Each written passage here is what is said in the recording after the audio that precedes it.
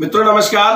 आप देख रहे हैं धर्मदृष्ट पत्रिका का यूट्यूब चैनल दस तक मीडिया। मैं विनोद शुक्ल, आपको सुना रहा हूँ बाबा नीम करोरी की अद्भुत कथाएँ। अद्भुत कथाओं की श्रृंखला में आपको हम लिए चलते हैं फोर चर्च लैन, लाल मकान। दादा का या बाबा का निवास। बाबा ने कहा था, ये मकान तो मेरा है ना, वहीं। वहाँ पर एक वक्त है सक्सेना जी और सक्सेना जी ने एक अपना संस्मरण लिखा है कि वो जब नैनीताल में कृष्णपुर में थे एक दिन तो एक डांडी, उधर डांडी बोलते हैं, अपने पालकी बोलते हैं। पालकी में पहले विदा हुआ करती थी। जब शादी होती थी ना तो लड़की की विदा पालकी में हुआ करती थी। पिक्चरों में आज भी देखने को मिल जाती है तो वही पालकी में बैठ के महाराज जी एक भक्त से दूसरे भक्त के घर जा रहे थे। तब उन्हें सकना साहब को दर्शन हुए। प्रणाम कर लिया। प्रणाम करने के बाद उस समय वो इंटर की परीक्षा दे रहे थे और इंटर की परीक्षा के समय थोड़ा सा दबाव होता है। उन्होंने किसी व्यक्ति से ये चर्चा की कि इस इस तरह से हमें एक बाबा जी जा रहे थे और वो नीम करोरी वाले बताए गए, उनके दर्शन हुए। उस व्यक्ति ने बताया कि बिना इच्छा के दर्शन नहीं हुए होंगे। तुम्हारा उनसे कोई न कोई संयोग है, इसलिए तुम्हें दर्शन हुए। बहुत अच्छी बात है। किसी संत के दर्शन होने ही बड़ी बात है। अचानक ये मिलन उनकी ज़िंदगी में एक ही मुलाकात थी केवल, लेकिन उनके जेहन में वो तस्वीर ठहर गई। बात आई गई हुई। सक्सेना साहब बीएससी करने कानपुर आते हैं और उन्हें यह पता चलता है कि बाबा नीम करोरी कानपुर में भी आते हैं। अब कानपुर में कहा आते हैं किनके यहाँ रुकते हैं, ये कुछ अता पता नहीं है। पढ़ाई कर रहे हैं सक्सेना और छात्र जीवन है। पता लगाते रहते हैं कि बाबा कब आएँगे, किसके यहाँ आएँगे? कभी कभी ऐसा होता है कि पता करिए कि इनके यहाँ आते हैं तो उनके यहाँ गए उन्हीं साहब अभी चले गए। थोड़ा समय हुआ है।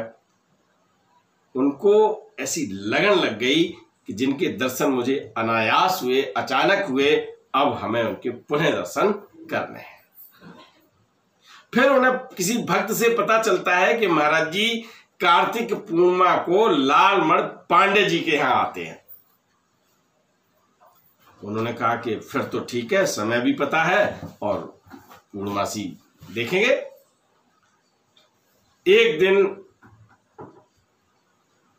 उन्होंने सोचा कि, कि कैसे भी महाराज जी अन्य दिनों में भी कहीं आए और दर्शन हो जाए। उनकी पुकार शायद सुन ली।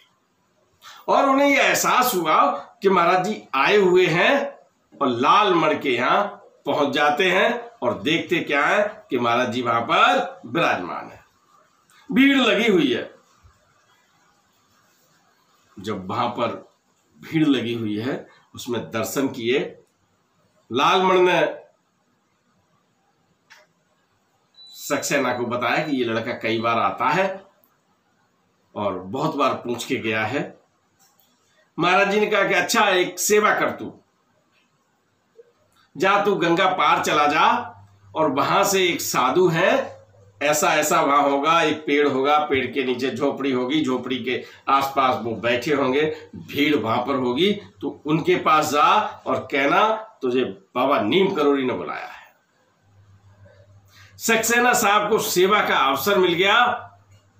सक्सेना साहब एकदम प्रफुल्लित हो गए और सोच रहे हैं कि न जाने किस जन्म का हमें पुण्य मिल गया। सक्सेना जी जाते हैं गंगा पार और वहाँ जैसी स्थिति उन्होंने बताई थी महाराज जी ने, वैसा ही पेड़ के नीचे एक साधु बैठे हुए हैं, भीड़ लगी हुई है, लोग अपनी समस्याएँ बता रहे हैं, वो उनको समाधान कर रहे हैं, किसी को धूनी दे रहे हैं, किसी को मिट्टी उठा के दे देते हैं और कल्याण की आशीर्वाद देते हैं। उस भीड़ को चीर के महाराज जी के संदेश वाहक के रूप में सक्सेना साहब पहुँचते हैं और उनसे कहते हैं कि तुम्हें बाबा जी ने बुलाया है। साधु ने कहा, ठीक है, अभी चलते हैं। उन्होंने कहा, भाई जल्दी जल्दी अपनी बात बताओ और हम, हमें जाना है। हमारे एक महाराज जी ने बुलाया है। साधु ने जल्दी जल्दी उनकी बात सुनी और वो चल दिए। जैसे ही वो चले हैं, उनके पीछे भीड़ चलने लगी। वो नाव पर बैठे, कुछ लोग उस नाव पर बैठ गए हैं और नाव पर भी वो चर्चा करते हैं, किसी की कोई समस्या है, किसी की परिवार की समस्या है, किसी की नौकरी की समस्या है, कोई ना कोई समस्या वो बताता है और वो साधु जी उनकी समस्या का समाधान करते हैं, आश्वासन देते हैं, जैसे भी जो है उनकी जो प्रक्रिया है वो नाव पर भी जारी रहती है। गंगा पार करके महाराज जी के अल्प प्रवास स्थान पर लालमण जी पांडे के यहाँ आ जाते हैं। साधु महाराज जी को प्रणाम करते हैं और बैठ जाते हैं। महाराज जी कहते हैं कि भाई, हमारे शरीर में बहुत पीड़ा हो रही है। तू देख ठीक कर दे इसको। साधु ध्यान लगाता है और ध्यान लगाने के बाद आँखें खोलता है, कहता है, महाराज जी, आपके शरीर में कहीं कोई पीड़ा नहीं हो रही। आप हमको गलत बता रहे हैं। महाराज जी सोचते हैं कि हमने तो इससे कहा असहनी पीड़ा हो रही है पूरे शरीर में और ये करा कि हमारे शरीर में कोई कष्ट नहीं है। महाराज जी ने उससे कहा कि बिल्कुल सही कह रहे हो तुम, लेकिन तुम ये बात ये बताओ कि दर्द की बात तो कोई डॉक्टर भी नहीं बता सकता कि किनके कहाँ दर्द हो रहा है, कैसे हो रहा है। ये तो मरीज़ ही बताता है कि यहाँ दर्द हो रहा है। तुमने कैसे जान लिया कि हमें हमें पीड़ा नहीं हो रही? साधु कुछ बता नहीं पाता है। साधु केवल एक बात कहता है कि हमें पता नहीं साहब, हम तो हमारे दिमाग में आ जाता, ध्यान लगाता हूँ तो और बस उसी के आधार पर करता हूँ। महाराज जी ने कहा कि जो सिद्ध शक्तियाँ हैं, उसके भ्रम में तुम भगवान को भूल गए हो। भगवान का भी स्मरण रखिएगा, सिद्ध शक्तियाँ तभी तुम्हारे पास रहेंगी। अन्यथा की स्थिति में कुछ नहीं हो पाएगा। और जिस तरह से तुम इनका पूरी तरह सदुपयोग नहीं कर रहे हो, यानी लगभग दुरुपयोग कर रहे हो, ऐसा मत करो। साधु की आँखों से आँसू बहने लगते हैं। महाराज जी मुस्कुराते हैं, कहते कि रो मत। तुझे हमने सही समय जगह दिया है। जो शक्तियाँ हैं उनका सदुपयोग करो और ईश्वर को मत भूल जाओ। अगर राम को भूल जाओगे तो कहीं कुछ नहीं हो पाएगा। साधु वहाँ से विदा होता है, वहाँ से भी भीड़ उसके पीछे जाती है। लेकिन अब साधु महाराज चुपचाप नाव पर बैठ के गंगा पार कर जाते हैं। मित्रों सक्सेना जी का यह अनुभव, उन्होंने लिखा और मैंने आपको सुनाया। एक निवेदन के साथ मैं अपनी बात समाप्त करता हूँ कि यदि आपके पास भी कोई शक्ति है दैवीय है प्रशासनिक है धन है बल है उसका दुरुपयोग मत कीजिएगा सदुपयोग कीजिएगा।